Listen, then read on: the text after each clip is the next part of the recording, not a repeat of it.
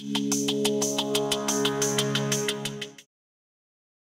my title is called Growing Hops in North Dakota, and as you can see, I've added as an ornamental because we will be talking today to you as a homeowner who might be interested in growing this, although I've done work on researching hops. We'll talk about it as an ornamental today. So, what is the big deal about hops anyways? Why are people so interested in them? Well, we know that they play a part in the flavor component of beer, they contain resins, which are the chemical compounds that make up the acid profile found only in the lupulin glands of hop plants. They are unique to hops. But did you know that it only takes one ounce of hops to flavor one gallon of beer? So it's actually not that much. Hops are kind of like the third string quarterback coming into the game and throwing in the winning touchdown. Even though the barley did all the work, the hops seem to get all the glory. So the varieties that I am familiar with are those that are listed on the screen. These are the ones we've worked with at the research center. We've done, we've conducted a variety trial on these. Um, it's really hard for me to recommend a variety because there are actually a lot of varieties out there.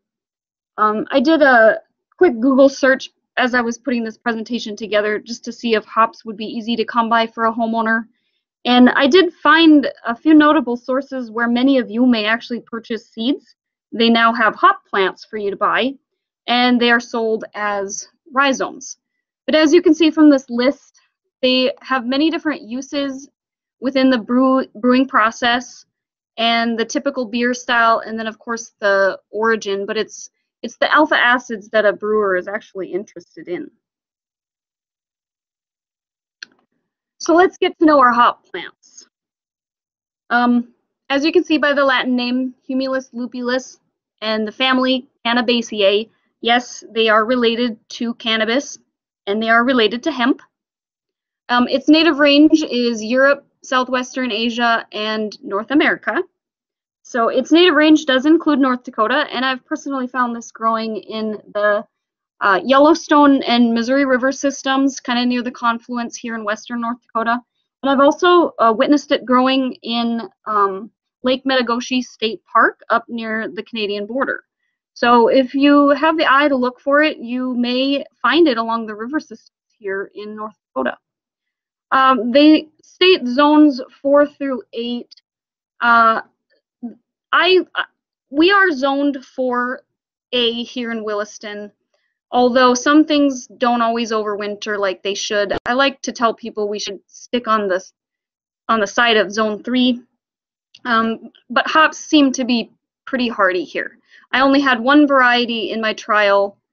There were nine plants of that particular variety, and only four of them overwintered the very first year I planted them, and that happened to be the variety Chinook. I'm not sure what happened, if it was just a fluke, uh, but we did not continue with that variety in our trial. Uh, but the thing to really remember about hops is that they grow best between the 34 and 50 degrees latitude north or south. They are day length sensitive. So, the soil preference uh, is a well-drained soil with a soil of pH around six to seven and a half. That's about typical for us here in North Dakota. They can tolerate a little bit higher. Um, but they need well-drained soil. And the thing to remember is that they can't tolerate having wet feet. They they do not like to be in standing water and they will not survive well if they are in an area where they're getting drowned. Um, so it is a perennial and the habit is actually uh, considered a bine, and that's not a typo. Uh, vines actually have tendrils, but um, hop plants are actually, uh, the bine is actually defined by the Oxford English Dictionary as the climbing stem of the hop. So it is a specific term for hops. Um, the height is 15 to 20 feet, and you read that correctly, it is 15 to 20 feet. And we'll talk about that in a little bit. And the spread is three to six feet, Although the root systems are rhizomes, as I mentioned earlier, uh, which is the uh, horizontal underground stem, they don't spread obnoxiously. You won't find this plant growing in another part of your yard because of the underground runners, which I know personally they can drive a person mad. Um, the bloom time is late summer, and they need the full sun to part shade. They can tolerate some shade, but again, it has more to do with making sure that they have a well-drained soil and that, they, that they aren't in standing water. And their maintenance is considered low. So I actually do um, recommend that they be placed in full sun, but they can tolerate some shade. So hops are dioecious, di meaning two and oikos meaning house. They are unisexual, having um, male and female elements on different individuals of the same species. So you'll find female plants and you will find male plants. And that is unique to hops, and it's the female plants that produce the hop cones, and that's actually what people are interested in when they're making beer. Um, so here we see the botany uh, on the left side of the screen with the female indication, that is the hop cone. And on the right side of the screen is showing you what the male plant would look like. It's impossible to tell them apart unless you see the flower or the cone. And then if you can see that on the right hand side, uh, C, that's a male and female flower, flower. Sometimes they'll produce a monoecious plant. So you'll have male and female on the same plant. So they're actually quite unique. And here's a picture of the burst stage. And that is those um, Capillated stigmas that you can see there are what would actually be pollinated if a male plant was nearby. In the brewing culture, it's been debated whether or not it's okay to have male plants nearby. Uh, the consensus is that we just don't really know how it affects the brewing. It doesn't change the brewing process, but having a pollinated cone versus a non-pollinated cone, it doesn't really make a difference. And I don't think they've really come to an agreement. And so there was indicating that burst stage is what that's called when you see the hop cone just initiating those. And on the left is the monoecious. So you can see the flowers and a cone. This photo I actually took from one of my hops out here. There was one particular variety that seems to be prone to having um, plants. And then on the right, you can see that this is what a male hop plant would look like as it's flowering. And this is just another close-up picture. Okay, uh, I wanted to zoom in and show you the resins. Um, and so the resins are actually collected along the center line of the hop, which is known as the strig, so that the backbone of the hop. And all of those little bracts connect to the strig. And it's it's there that the hop resins are produced. And if you can see at the very base of that hop cone those are like coagulated resins sticking together. They're yellow they're sticky and if you were to take your if you were to take this hop cone and put it between your index finger and your thumb and kind of squish it around you would start to release that chemistry and you'd be able to smell some of that chemical component that might add flavor to beer. Most people that I've ever had do this, they say, oh, that smells like a really good IPA. Um, and so that indeed is where the flavor is coming from, and it's very, very fascinating. Almost has an addicting quality to it. Uh, so some considerations if you're going to be putting this in your yard. Remember to keep it in full sun to part shade. They do need some protection from the wind. Uh, so choose an area that's you know slightly protected and enough space to build the structure for them to grow on. And then I do I do recommend that people irrigate them. If you're not growing them for production, though, you they're fairly drought tolerant. So if you're growing them for production, they they are water loving, but they do use a lot of water. But if you're growing them just for an annual or um, a perennial to look at in your yard, you probably don't need to follow the requirements that are out there for the for the water requirements. But they do need a space. They do need something to grow on, and so that's why I wanted to show you today some of the things, some ideas that you could use to grow them in your yard. So on the left is the Hop Grower's Handbook. This is an excellent resource for you. Although it was written for someone that wanted to grow hops uh, from a production standpoint, they have a lot of great information in there and diagrams and schematics. The two photos, the one in the center and the one on the right, are both from this book.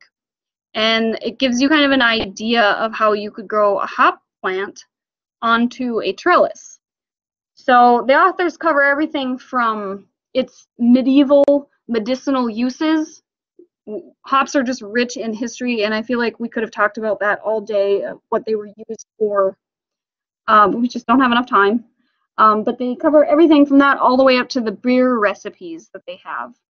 Um, so they're based out of New York, but many of the same principles do apply to us here. And like I said, the pictures are very helpful. So I've actually seen uh, hops growing here in North Dakota uh, along people's front porches, and we can also use them as a privacy screen. They're quite vigorous and they will spread and they will fill in an area so long as they have something to grow on. So you can see that center photo, compare it to the photo on the right, that's what it's going to look like. So um, just remember if it's a perennial, it's difficult to move and we need to give them lots of space. And again, this is a rendering of a structure that may work for you uh, in your own yard, um, allowing it to grow up one side and, and grow down the other or having two plants spread out. This might make it an easier way for you to harvest if you do decide you want to try to grow your uh, own hops just for beer. Um, some people like to play around with that, and they don't need a whole lot of hops because, again, it doesn't take very many hops to make a gallon of beer. Um, might make it easier for you to harvest them. So this is what it looks like, or what it looked like when I first started at the Williston Research Center. Uh, the hops were growing on these little teepees.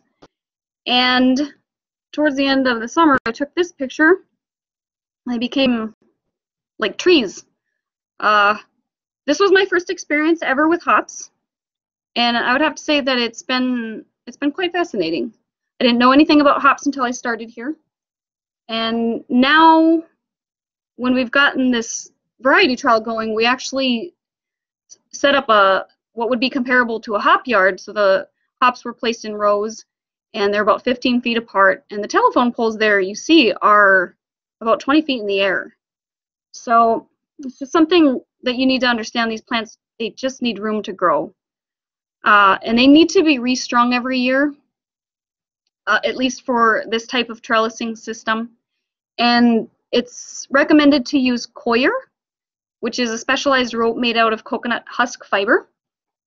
And so we we restring ours every spring with the coir because in order to harvest them for our research, we have to actually cut the coir strand as as long as well as the hops.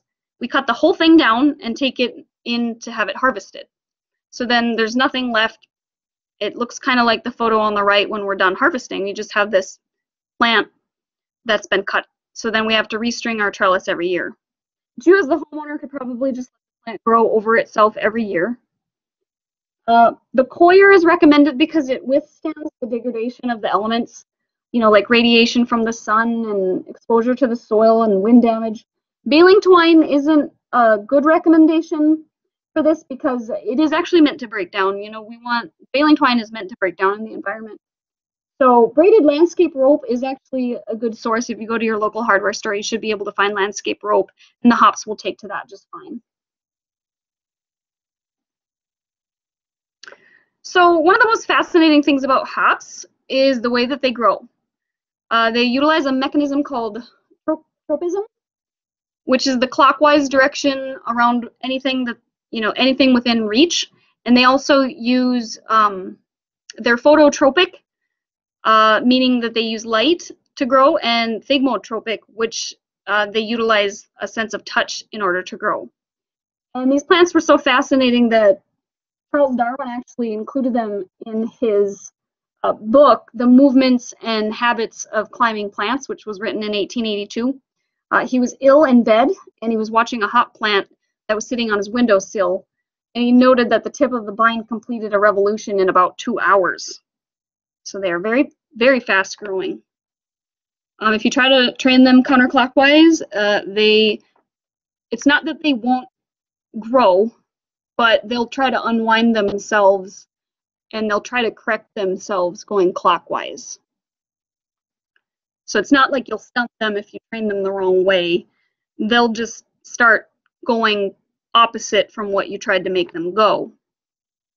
And it'll make them grow kind of weird actually. So the above ground growth, um, they will grow 18 to 25 feet in a season and it's up to about one foot per day. And then the laterals will extend from those vines. So talk, talk a little bit about that. Um, in the spring, if you are wanting to plant, the spring is the best time to plant them. But if you had planted them in the fall, uh, they should be emerging. Uh, now they would be emerging, depending on our depending on our spring, depending on the weather, but anywhere from March through May. And it's those increasing day length and temperatures that spur on that growth. So you can actually see where the buds are in their resting phase at the bottom of the screen on the left-hand side. And then in the middle, we see the shoots coming up. And then if I were to go out there right now, I'd probably see a bunch of these vines sticking up out of the ground. And they'll send about 10 to 20 of them out. And in the in the commercial hop industry, they select the most robust three to four bines, and they actually either remove the rest of them chemically or mechanically with hand or with just hand labor. Um, and then you can see what a rhizome looks like, the dormant crown in the upright corner photograph on the right hand side there. And then your uh, hop starts, which have a slightly smaller root system, and then the field grade transplants. So in, in the fall, uh, because they're a perennial, um, the killing frost will allow them to start going dormant. And that can take place anytime from September to early October. If you get a light frost, that starts to signal the plant to translocate the nutrients down into the root, the storage root.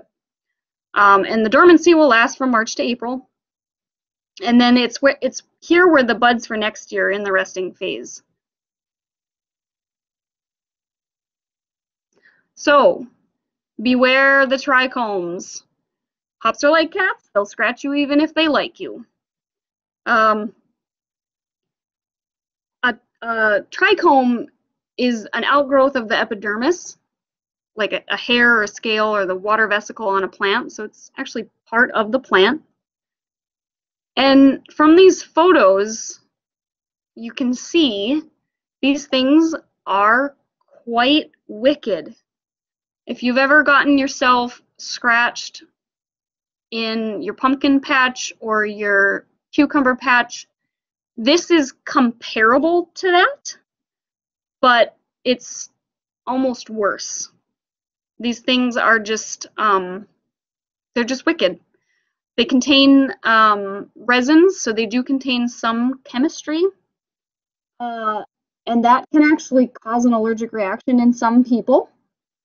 I recommend my summer staff wear long sleeves and gloves when they're working with hops. If you don't, it'll look like you had gotten in a fight with a cat.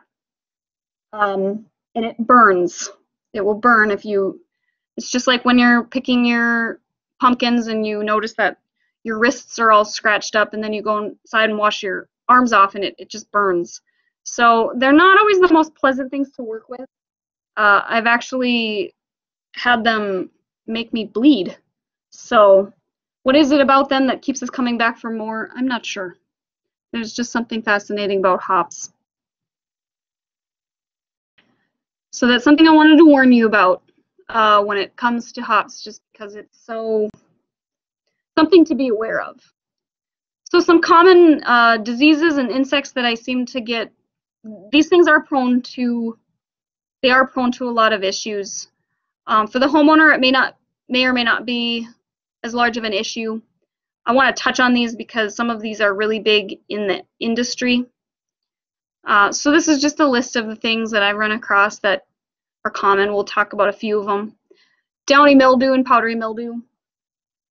Uh, verticillium and fusarium wilts. Uh, they are very prone to viruses. Uh, we'll talk about that in a minute here. A couple of insects to note, um, hop aphid, flea beetles, Japanese beetles, leaf hoppers, spider mites. And that photo there is actually a looper. We found the larvae feeding on the hop cone. So powdery mildew versus downy mildew. Uh, the primary disease that you may see in your home landscape would be powdery mildew. And just promoting good airflow between plants, not allowing the water to remain on the leaves is just taking the best measure for preventing this disease. Powdery mildew is associated with other plants. Uh, you know, some good examples that I can think of are lilacs and roses. Uh, but downy mildew is, the causal agent is actually specific to hops. And downy mildew is actually what wiped out hop production in the late 1800s and early 1900s. Uh, the primary growing region was actually the Great Lakes area um, in New York, and they called that the Great Lakes region the Finger Lakes region. And downy mildew came in, and they didn't have good they didn't have good disease protocols, and it completely wiped out all production, and then prohibition came in and just gave it the final boot. So when hops regained a new growing area, it happened to be out in the Pacific Northwest, which is now the primary growing region for for us here in America, and that includes the states of Washington, Oregon, and Idaho. However, due to um, new breeding and selecting and coming out with better mechanisms for disease control, we've actually seen a resurgence of hops being grown in areas, uh, the Great Lakes region now, including New York again. Um, they're kind of calling it a rebirth there, and that's also spurred on the interest for growing it in non-traditional regions like North Dakota and Minnesota and Montana. Um, so here are a couple photos showing you powdery mildew versus downy mildew. Um, and again, you can see that silvery powder. Uh, if you look close enough with a microscope or even a hand lens, you could see the the fruiting bodies on powdery mildew, which are those little black dots, cleistothecia. Uh, the downy mildew is got a very different and unique looking disease. There are no, there is no powdery residue on the leaves, and it's a little bit harder to spot, but I don't see downy mildew as being a particularly bad um, issue for us here in North Dakota. Um, our, our weather here is, is a little more on the dry side. But I wanted to compare the two just so that you could see what the difference is. Um, one of the main insect issues that you're probably going to find are spider mites. And if you've ever battled spider mites, you know that some years are worse than others. Uh, so a lot of times it's just dependent on our weather conditions. Um, spider mite females will actually overwinter in the soil. So the pregnant spider mite females go down into the soil and they go into diapause, which is their resting phase. And in the spring they emerge and they'll climb up whatever is there and start laying their eggs. And so if our winters are extremely harsh or if there's enough predators around, some years we might see uh, very little spider mites. Other years we might see them everywhere. It's just kind of weather dependent. And you'll see these on everything from certain tree species to uh, your raspberry bushes. Um, and they, they can be a little bit difficult to control. Um, oh, and and although it's unsightly, it's it's not going to actually kill your plant. Um, so that's kind of the cautionary tale with these. For how tall your hop plants grow, it's difficult to spray for spider mites and get complete control.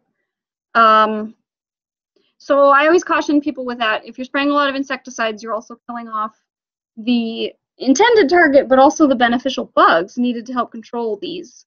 So just be mindful when you're spraying your insecticides and just know that these spider mites are, are not going to kill your plant. And so here's a photo uh, showing what types of predatory bugs are there. And, you know, you're going to see, you want to help to promote these insects, and that helps to control some of those non-beneficial um, mite problems, if you will.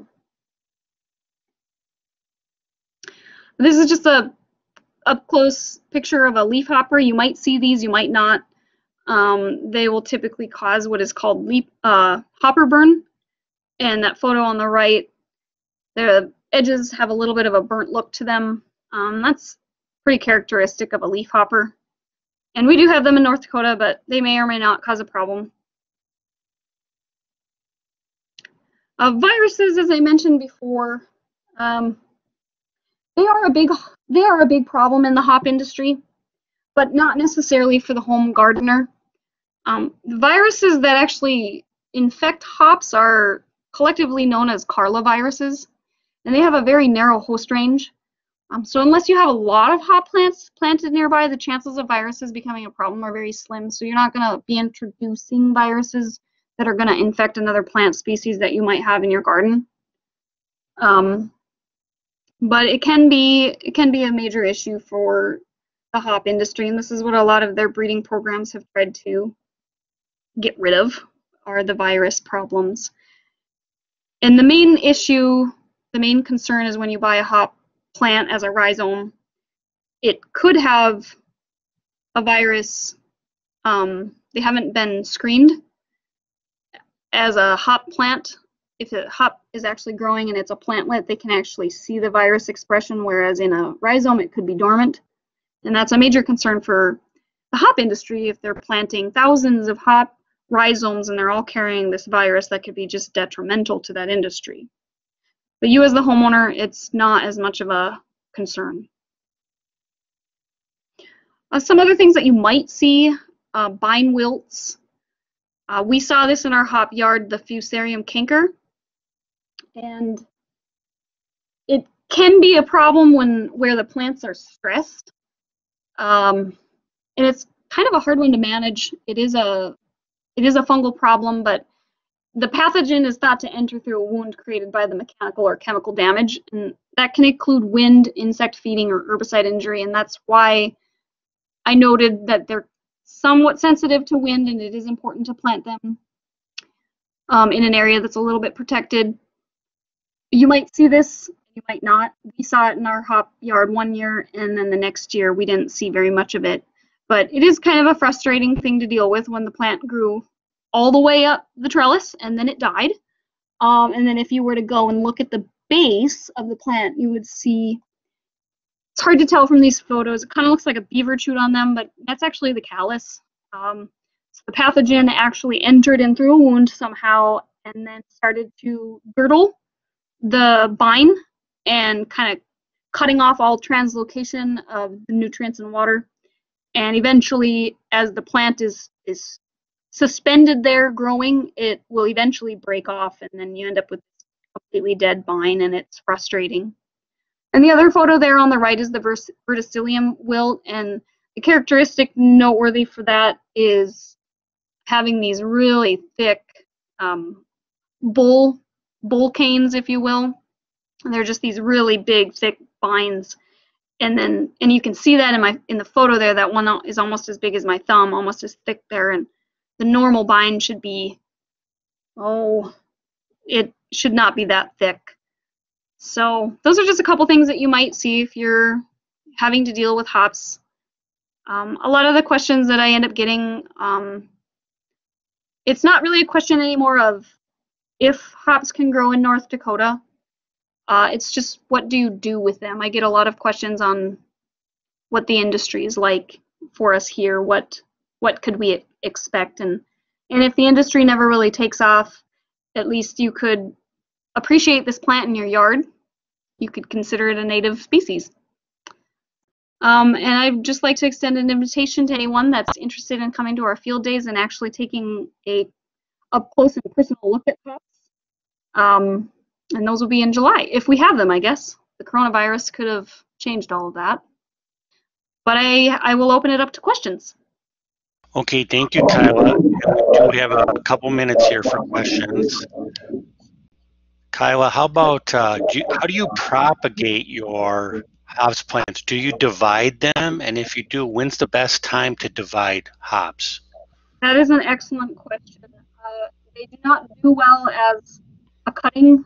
If you were going to take and snip a cutting of one of the vines that's growing, um, fascinatingly, they're actually hollow on the inside and they wilt quite quickly.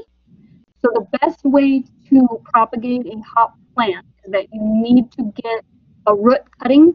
So division is best. Divide off a section of that rhizome. Make sure you got several healthy buds that you can see. And the best time to do this is in the spring before the plants have gotten too tall. If the plants, the vines are too tall, you'll be trampling them as you're trying to divide the plant. If you've ever tried to divide a, say, a daylily that's fully blossomed out, you're stepping on all the foliage and everything. It's not going to kill it, but it might make it look pretty sad for a while. And when you transplant it somewhere, it might look like it's on its last leg, but it'll come around. If you've got enough good root and good buds coming, it'll come back. But the spring is the best time to do it. Okay, thank you. How about uh, how do you know when the hops are ready to be picked? Oh, that's a really great question. Uh, they use moisture as a way to tell whether a hop is ready to be picked. So there's been a lot of research going on as to when the hop is at its peak freshness and um, peak chemistry, but you'll have to go out and Google a hop moisture calculator. And there, to my knowledge, aren't any very good readers that say uh, when you're harvesting a particular agronomy crop that they can bring a sample of the crop in and throw it into a Dickey John and it'll spit out a moisture. Hops the best way to find that out is use your microwave. Um, a note of caution, though, is you don't want to start anything on fire. So what you would do is you would collect a really good sample, say 25 to 50 grams of hops. You weigh that sample, put it in your microwave, start microwaving them until they no longer lose any weight. So you're periodically weighing them, and when they've reached zero weight, then you can calculate the percent moisture. And it's at that point then you determine whether or not they should be harvested. Um, if your hops are brown and dry, you've let them go too far. Okay, how about there's a question from someone who's wondering about isn't it best to have only one or two main stems going up the rope and then you cut all the remaining runners? Yes, and I mentioned that when we were talking about Yes. Um, in the industry, they actually select, um, typically they'll select three to four. Okay, and you prune the others out. And uh, do you have any other trellising tips? This person's had hops outside of growing in Minot for 25 years, and it's it's uh, growing along a steel building. Hmm. Okay. Oh, any more? Thanks for the trellis. Okay. Um, the best thing I could recommend is just don't make any more work. Know what you're getting into because hops are really aggressive growers. Um, they do produce a lot of biomass, a lot of on top growth that you kind of have to deal with from year to year. Okay, I think that's good. Well, uh, we're going to wrap it up there. Kyla, I, I oh. agree. That that hops is a, a fascinating plant. And thank you for sharing your expertise and introducing us to it. Yes, no problem.